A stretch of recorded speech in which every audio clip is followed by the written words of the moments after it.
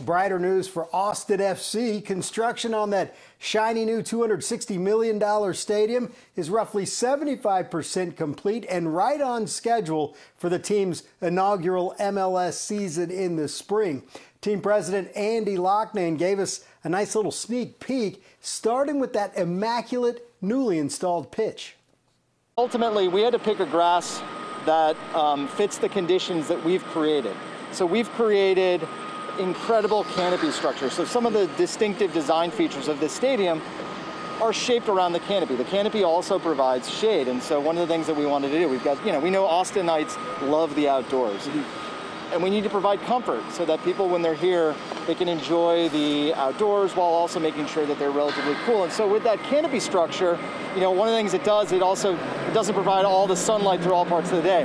So you've got to pick the right type of grass yeah that accommodates the sun elements that we've either blocked or allowed into the stadium. A seat is not necessarily just a seat. Yeah. Uh, you have to put a lot of planning into this to get that perfect touch, right?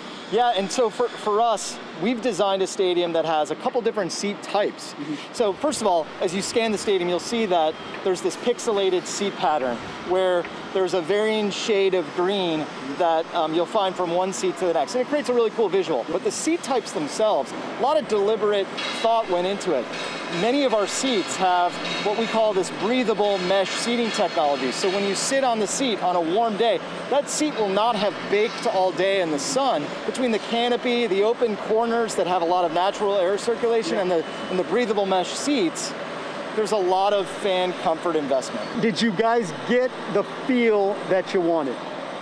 Yeah, I think I think it's meant to be stunning, gorgeous, dramatic, and you know we're only 75% complete. So I think the full story will be told once all the assets are in place. Was there ever a doubt that this thing would be put on pause with all the momentum that's been built? Not in my mind, and, and I think that has everything to do with the commitment from our ownership group. The pandemic certainly has been a difficult period for all of us.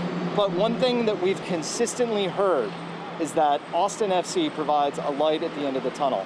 And so there was never a doubt that we were going to continue remaining that beacon of light. So for us, this is all about this being ready for all of Austin in 2021. Yeah, it's a gift that Austin soccer community can't wait to start enjoying. Spring is just around the corner.